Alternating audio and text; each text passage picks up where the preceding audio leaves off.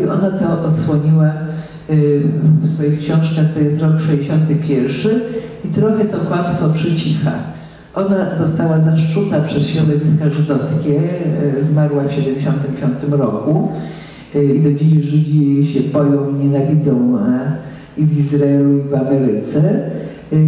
No i potem w latach 80. już uznali, że minęło jedno pokolenie i Eli Wiesel i cała ekipa wymyśliła tę, tę bajeczkę na temat zagłady i światu do, do wierzenia podaje.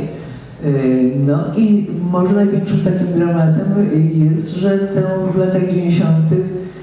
i od 2000 roku tę bajeczkę zaczęło się przeszczepiać również w Polsce mieszać w głowie polskim studentom i, i młodzieży. Do dziś na uniwersytetach polskich książka Grossa jest, jest obowiązująca, ale jednocześnie właśnie to, czego się boją ci, którzy kłamią, to jest po prostu, to są te źródła żydowskie, do których właśnie wracam. No na pocieszenie mogę Państwu powiedzieć, że jeśli chodzi o Żydów i zakłamanie historii żydowskiej, to Żydzi mają zakłamaną historię jeszcze bardziej niż my.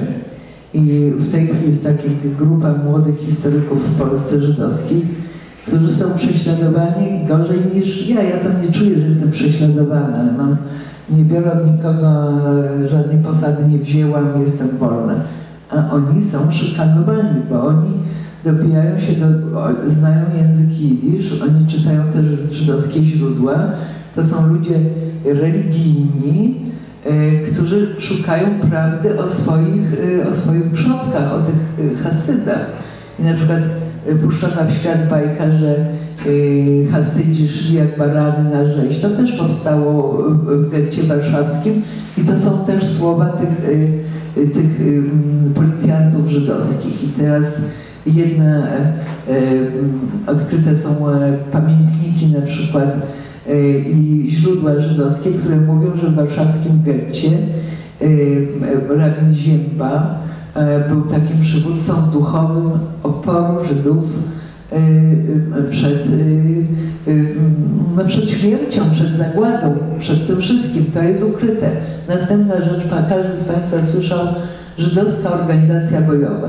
Ja też długie lata myślałam, że oni, że to oni zrobili powstanie w getcie. Nieprawda. Powstanie w getcie warszawskim było prowadzone od początku do końca przez Żydowski Związek Wojskowy. Żydowski Związek Wojskowy, proszę Państwa, powstał, powstał we wrześniu 1939 roku. Przez, skupiał Żydów, którzy chcieli się bić z Niemcami o Polskę, o Żydów i o wszystko. I współpracował zawsze z rządem londyńskim i z Armią Krajową bo tylko ci Żydzi z Żydowskiego Związku Wojskowego umieli strzelać.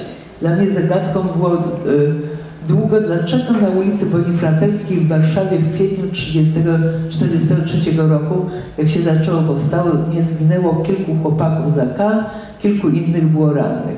A to dlatego, że właśnie y, walkę w getcie prowadzili żydowski związek, prowadził Żydowski Związek Wojskowy, który z Armią Krajową cały czas współpracował. Dramat tylko polegał na tym, że ci żołnierze żydowscy z Żydowskiego Związku Wojskowego w powstaniu zginęli. Przeżyło tylko czterech. I im a, zamknięto y, usta i to naprawdę jest jeszcze rzecz do odkrycia. Natomiast całą chwałę powstania przejął y, Żydowski Związek, Żydowska Organizacja Bojowa, lewacka, składająca się z ludzi, którzy nie trzymali